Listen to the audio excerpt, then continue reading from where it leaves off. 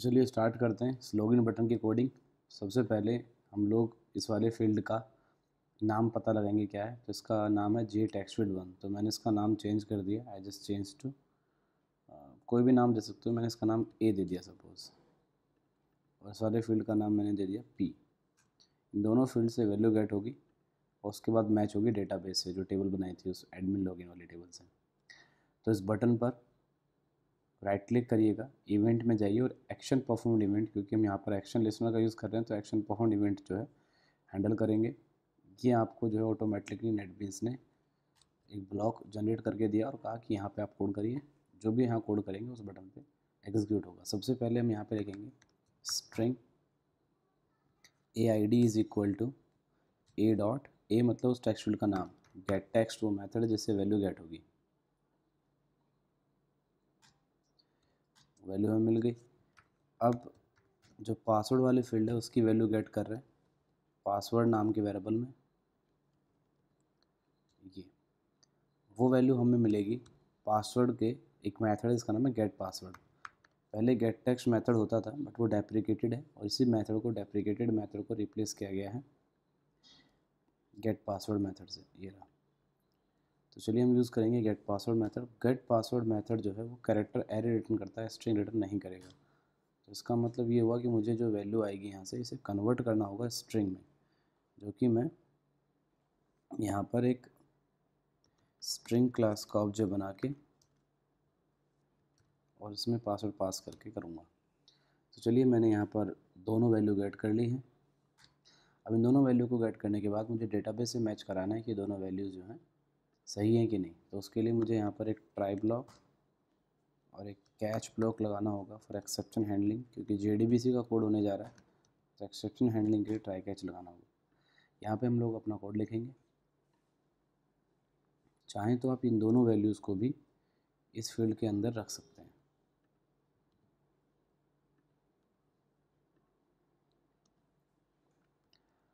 अभी जेडीबीसी अगर आप जानते हैं तो तो चलिए सबसे पहले चेक कर लेते हैं कि दोनों वैल्यू में से कोई वैल्यू ब्लैंक तो नहीं है। हो सकता है कि आ, आपने आईडी पासवर्ड में कुछ टाइप ही नहीं करा और सीधे बटन प्रेस कर दिया। नहीं इसकी ज़रूरत नहीं है। तो चलिए जेडीबीसी का कोड हम यहाँ पे करेंगे। जेडीबीसी में पाँच स्टेप होता है। सबसे पहले क्लास क्लास का एक मेथड कॉल करके ड्राइवर लोड कराना। जो जो ड्राइवर हम यहाँ यूज़ करेंगे वो माइस्क्यूल का होगा। Com dot MySQL dot J D B C dot driver. ये हमारा ड्राइवर हो गया। उसके बाद हम लोग कनेक्शन क्रिएट करते हैं। Connection C is equal to driver manager.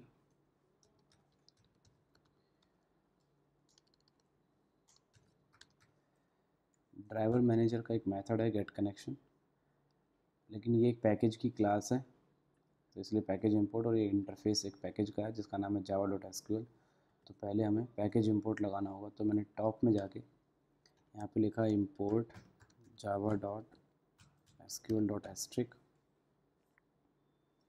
और फिर अपने कोड में यहाँ पे मैथड कॉल करा, उसका नाम है गेट कनेक्शन तीन वैल्यू पास करेंगे तो हमारा माई का पाथ क्या है?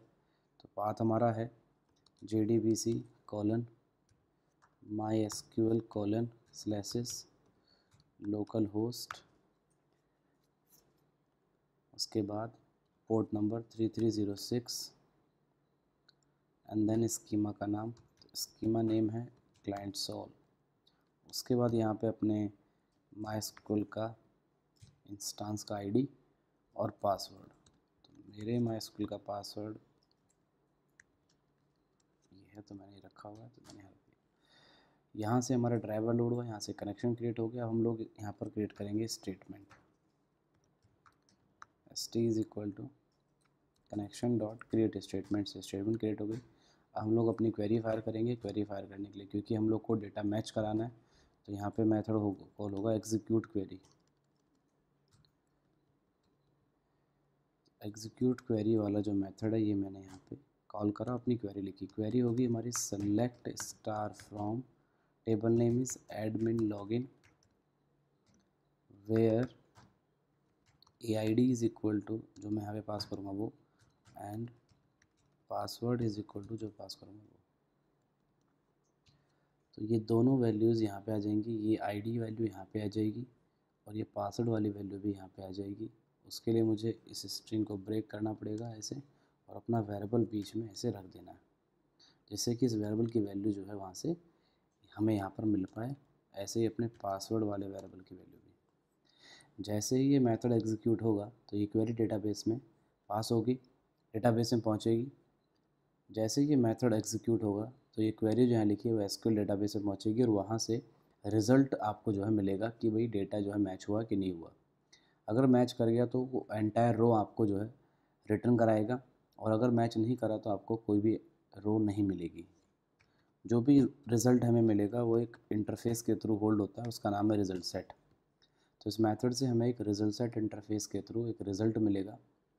मतलब इस मेथड से एक क्वेरी आएगी, और उस क्वेरी को मैं एक रिज़ल्ट सेट इंटरफेस के थ्रू इस वेरिएबल में होल्ड कर लूँगा. वो क्वेरी तो इस मेथड से एक रो आएगी. अगर मैच हुआ तो नहीं तो नहीं आएगी. जो भी रिज़ल्ट आया, वो हमारे इस वेरिएबल में होल्ड हो जाता है. अब मुझे ये, बस ये पता लगाना है कि रिज़ल्ट क्या है। तो एक मेथड है रिज़ल्ट सेट का हुआ नेक्स्ट। ये मेथड ट्रू फॉल्स देगा। अगर ये डेटा मैच हुआ और रो इसे मिली तो ट्रू देगा। और अगर डेटा मैच नहीं हुआ तो इसे कोई रो नहीं मिलेगी तो ये मेथड फॉल्स देगा। तो फॉल्स आया, इसका मतलब कोई डेटा मैच नहीं हुआ है। मतलब आईडी या पासवर्ड में से कुछ गलत हो गया, जो डेटाबेस से एग्जिस्ट नहीं कर रहा है। और अगर आपने जो डेटा भेजा है कि भाई आईडी और पासवर्ड मैच करो और बताओ क्या रहा तो उसकी रो जो है लेके आता। तो सिंपल सी बात है, अगर एल्स चला तो इसका मतलब something went wrong with the credentials जो टाइप हुए हैं, वो गलत हैं कहीं ना कहीं, और इफ़ चला तो इसका मतलब क्रेडेंशियल सही है। तो अगर मैच कर गया तो मुझे क्या करना है? एक होम वाले फ्रेम का ऑब्जेक्ट बनाना है, और उसके ऊपर एक मेथड कॉल करना है सेट विजिबल ट्रू इस मेथड के कॉल होने से वो फ्रेम विजिबल हो जाएगा, जो हम चाहते हैं, और हमारा जो अपना फ्रेम है, जो मतलब लॉगिन वाला फ्रेम है, वो डिस्पोज करना है, उसको हम करेंगे थोड़ी देर और अगर डेटा मैच नहीं करा तो मैं चाहता हूँ कि भाई एक मैसेज ओपन आए, जिसमें लिखा हो कि भाई ID password something is wrong या रॉन्ग एंट्रीज कुछ करके। तो मैसेज डिस्प्ले करने के लिए हम लोग स्विंग में यूज़ करते हैं जे ऑप्शन नाम के क्लास का। जे ऑप्शन पेन नाम की क्लास है, उसका एक मेथड है शो डायलॉग तो शो डायलॉग विंडो जो है सो मैसेज डायलॉग करके है। सो मैसेज डायलॉग विंडो है, जिसमें हम लोग यहाँ पर पहले तो जो कंटेनर है वो पास करेंगे। पेरेंट कंटेनर कौन है तो कोई पेरेंट कंटेनर नहीं है, इंडिपेंडेंट ये डिस्प्ले करेगा और मैसेज जो होगा यहाँ पे पास। नल का मतलब है कोई भी इंडिपेंडेंट किसी भी पर्टिकुलर पेरेंट का डिपेंडेंट नहीं है। तो इंडिपेंडेंट मैसेज बॉक्स ओपन होगा और मैसेज जो चाहिए वो, मैसेज जो चाहिए वो यहाँ लिख देंगे, रॉन्ग एंट्रीज करके ये हमारा मैसेज हो जाएगा। तो चलिए इतना कोड रन करा के देखते हैं पहले क्या रहा है। तो मैंने इस ऐप को रन कराया। आईडी पासवर्ड, एडमिन और एडीएम आप देख रहे हैं। लेकिन होगा ये चीज़ मेरे को याद आ गई, होगा ये, जैसे बटन प्रेस करूँगा कि एक एक्सेप्शन थ्रो होगा और उसमें लिखा होगा ड्राइवर क्लास नॉट फाउंड क्योंकि हमने अपने प्रोजेक्ट में ड्राइवर जो क्लास लोड कराई है, वो एक्चुअली हमने अपने प्रोजेक्ट की जार फ़ाइल में ऐड ही नहीं करी है। जब मैंने बटन प्रेस किया,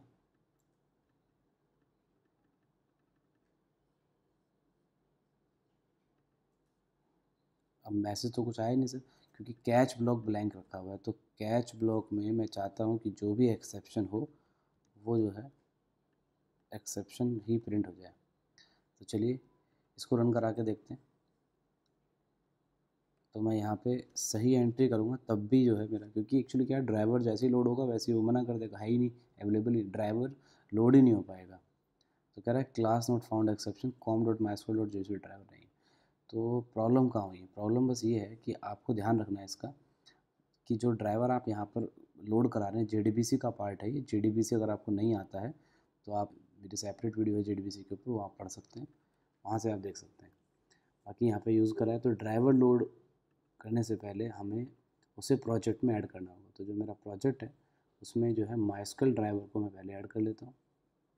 ड्राइवर ऐड करने के लिए हम लोग जाएँगे अपनी ऐड जार फ़ाइल में और यहाँ से मेरे पास कई सारी जार फ़ाइल हैं, मैंने सब डाउनलोड कर रखी हैं। माई की जार फ़ाइल मेरे पास दो दिख रही हैं। इसमें आपको कौन सा करना है? तो आपके माई वर्जन के ऊपर, अगर आप माई फाइव यूज़ कर रहे हो तो आप ये वाला ऐड करना है जार फ़ाइल। अगर आप माई एट यूज़ कर रहे हैं तो माई एट वाला कनेक्टर आप जो है ऐड करेंगे।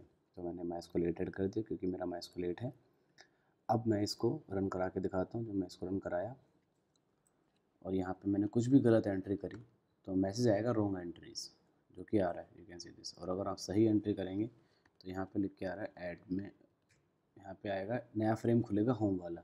तो yes you can see this but पीछे वाला वो गया नहीं लॉगिन वाला फॉर्म हट जाना चाहिए जिससे कि मैं यहाँ पे लॉग आउट करूँ, तब आए वो। तो वो क्यों नहीं गया? तो इसलिए नहीं गया क्योंकि हमने जो है, यहाँ पर डेटा मिलने पर अगर सही एंट्री है तो हमने नया फ्रेम तो ओपन करा but we didn't close the current one तो करंट फ्रेम को क्लोज करने के लिए हम यहाँ पे कॉल करेंगे simple dispose dispose method same class के फ्रेम को डिस्पोज कर देगा और नई वाली फ्रेम को हमने यहाँ से ओपन कराई है। तो ये डिस्पोज मेथड उसको क्लोज करेगा। तो इस तरीके से लॉगिन बटन हमारा जो है परफेक्टली काम करेगा।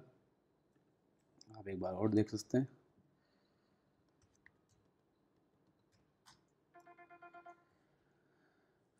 ये हमारा आ गया और वो वाला चला गया। तो ये प्रॉपर लॉगिन हमारा हो गया। अब हम चाहते हैं कि भाई होम वाले फ्रेम के इस ऐड बटन पर ये सारी एंट्रीज डेटाबेस में स्टोर हो जाए। तो इसका मतलब ये है कि इस बटन पे मुझे सारी वैल्यूज़ की, सारे फील्ड्स की वैल्यू गेट करनी है और फिर उन्हें जो है एक डेटाबेस से कनेक्शन क्रिएट करके और क्वेरी फायर करके डेटाबेस में स्टोर कराएँगे। अब पॉइंट ये है कि अभी हमने लॉगिन बटन पे डेटाबेस कनेक्शन बिल्ड करा। JDBC के स्टेप्स यहाँ पर लिखे। और दूसरे फ्रेम के इस बटन पे भी हमें जे डी बी ज़रूरत पड़ेगी तो फिर वो सारे ड्राइवर लोड करना कनेक्शन क्रिएट कराना, स्टेटमेंट क्रिएट करना, ये सब हमें यहाँ भी करना पड़ेगा। और इस प्रोजेक्ट में यहाँ भी ज़रूरत हो तो यहाँ भी करना होगा। तो ऐसे प्रोजेक्ट में कई जगह आपको डेटाबेस कनेक्शन की ज़रूरत पड़ेगी, स्टेटमेंट की ज़रूरत पड़ेगी क्वेरीफाई करने के लिए। तो हम हर बटन पर कनेक्शन क्रिएट करना और स्टेटमेंट क्रिएट करने का जॉब नहीं करना चाहिए। मतलब कर तो सकते हैं, बट करना नहीं चाहिए तो इसलिए मैं नहीं करूँगा।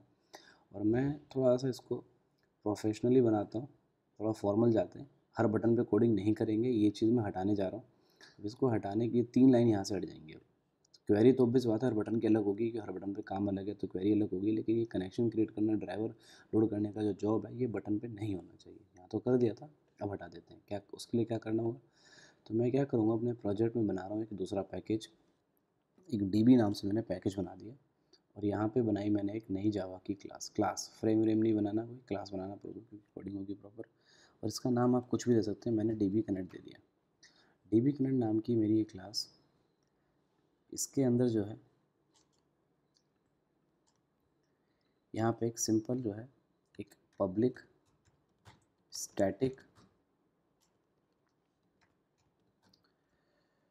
वेरिएबल बनाएँगे कनेक्शन जिसमें हम लोग अपना कनेक्शन होल्ड करेंगे। और ऐसे एक बनेगा।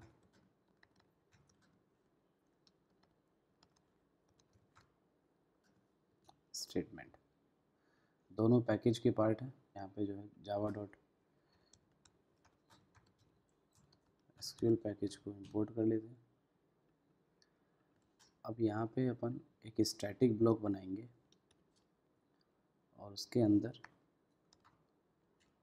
ट्राई कैच लगा देंगे।